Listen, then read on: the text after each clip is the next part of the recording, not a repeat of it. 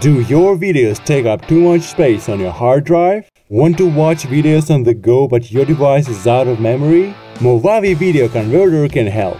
You can conserve precious hard drive space by compressing unnecessarily large files while keeping great quality. In this video tutorial, you'll learn how to make video files smaller. Step 1. Open the Movavi Video Converter program. If the software is not already installed on your computer, click here and follow the on-screen download and setup instructions.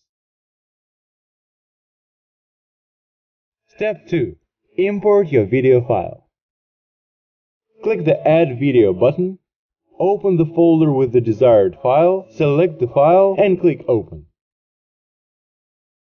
Step 3. Set the conversion parameters. The first way to make video files smaller is to choose an alternative format. Alternatively, you can select a lower resolution while keeping the same format. This will make the video file smaller but might affect the video quality. Probably the best option is to modify the bitrate. Click the output file size. In the pop-up window, use the slider to select the desired output file size. You can make the file smaller by applying a lower bitrate while keeping the same format and resolution. When you're satisfied, click Apply. Step 4. Start the conversion. Movavi Video Converter lets you get rid of unwanted scenes right away, which also helps to reduce the file size.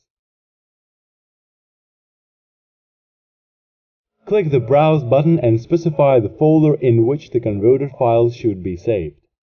Finally, click the Convert button. Done! Download Movavi Video Converter today and save hard drive space while keeping the great quality of your favorite videos.